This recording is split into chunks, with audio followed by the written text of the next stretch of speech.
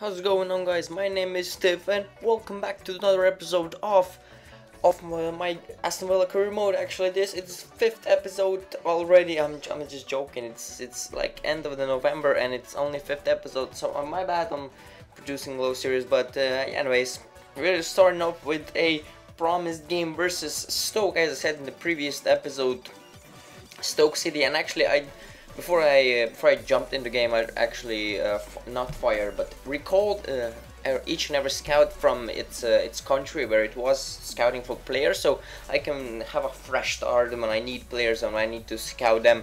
But anyways, and at that moment I didn't realize it was a cup game. We're starting off with Guzan, Lowton, Clark, Cole, Luna, Westwood, Hoffman, and Zogbia, Weimann, Delph, and Christian Almighty Benteke and uh, normally for a cup game I actually show you the first 11 that FIFA nicely puts it out but uh, I didn't realize it was a cup game so that was that's not a part of this video but starting off in the earliest earliest um, earliest minutes actually I show you this action not because it was a great shot actually it was a great shot but the, the, how the camera looks how the camera works uh, you know, I love the camera when behind the player so that I can see the traje trajectory or, uh, or I should say flight path of the ball.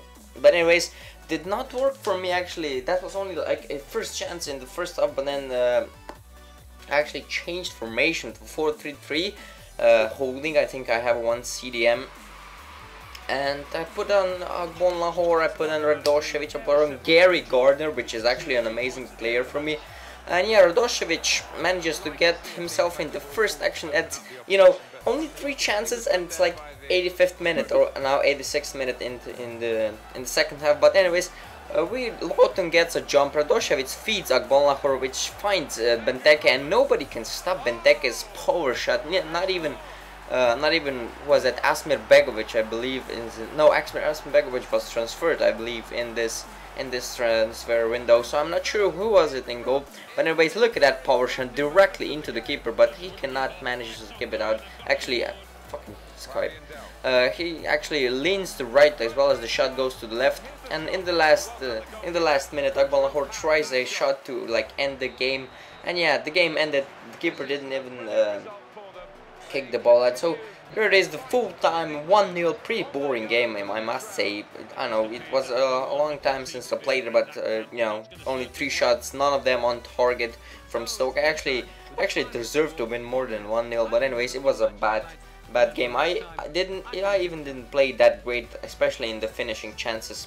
But anyways, yeah, it, as I said, it was a cup game, and most of the matches, it was a, a more goal scored than in our match but then we are we are just looking at the at the Barclays Premier League table and as you see we're in the fourth place which is actually pretty nice for me. We didn't lose a game already. I mean didn't lose a game but uh, yeah we have, we have five points as well as Sunderland. Sunderland has five points and that is a surprising a surprising fact for me because Sunderland actually is a not not a world class team in the game. I know how they even though and I'm not sure how they uh, how they get so high. But anyways, um, as you see, I'm, I'm recording this after the 6-0 win uh, Manchester City has on uh, has on Spurs, which actually demolished Spurs. Uh, what a game! What a game it was!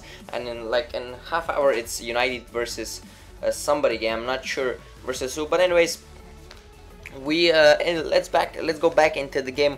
We have a game versus Newcastle, and Newcastle is is a very unpredictable team, especially because their most of their players are pretty freaking strong, and so I put uh, so I put uh, the same team as I did with Stoke in because I believe we can we can win on this on this. Uh, on this, you know, on this formation, on this, on this first eleven, on the, on our first lineup. So, uh, yeah, th that's what it was, and the bench is the same because I have Agbonlahor on the bench, and Agbonlahor needs to play more, and I know that, but Benteke is currently our main striker because he is, uh, he is the best for me. Yeah, but this game, this game was uh, pretty much uh, two or three times more exciting than it was already in the 8th minute. Benteke gets us a corner which yeah, a corner is good for us, but we're not uh, famous for scoring corners. But anyways, we got a we got a jumping header I'm not sure who was that. Uh, looked like a pretty small guy, but unfortunately it was Okore, I believe. And Okore gets a second header, cannot get that one on target though. But still, in the 30th minute and 13th minute, Benteke finds a space, finds some space actually in the in the in the close to the goal line, shoots, but an amazing save by the keeper was made. I believe that was Tim Krul on the on the other side of the net. But anyways, Papiss in the 42nd minute gets a ball, lovely touch from him. I, I believe that was a chest touch, a chest bump, and then turns around with his uh, hyper venoms, his orange hyper venoms boots. Yeah, nice chest touch, and then a a shot, a decent shot. But yeah, actually, that was uh, that was my mistake. I believe that was my mistake because I pulled the keeper out, which I didn't have to. Uh, I, and I know that from the for the for the for the future now that I don't have to put a keeper out. But anyways, I just speeded up a couple a couple seconds, and as you see, Clark mistimes the pass and everything that is going to be. And Papiss Cisse again with his uh, orange hyper venoms which are actually a magnificent boot. I tried them out in a store a couple of days back and they are a little bit too expensive or a bit expensive for me but they are fan fan freaking tastic and yeah another my mistake. Clark uh, didn't pass it because I was feeling too cocky and my I again pulled the keeper out, which was totally unnecessary. But then, a couple of minutes later, in the second half, in the 49th minute, I believe, Benteke again finds some space. Benteke is a, such a such a crucial, such a great player. Uh, but yeah. Uh, didn't did again didn't finish it but here Cisse not a good shot by him but uh, Brad Guzan had some trouble saving that and those shots are the P rollers. I, I most of the community calls it the, slow accurate, slow accurate shots uh, like this one.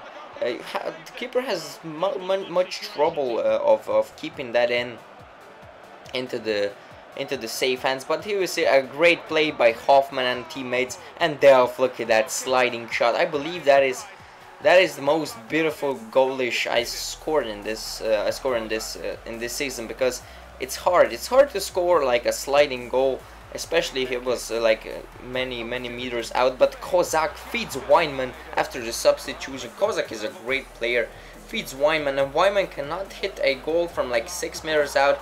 And yeah, that is pretty much very disappointing for because I was losing 2-1 and then I get the free kick.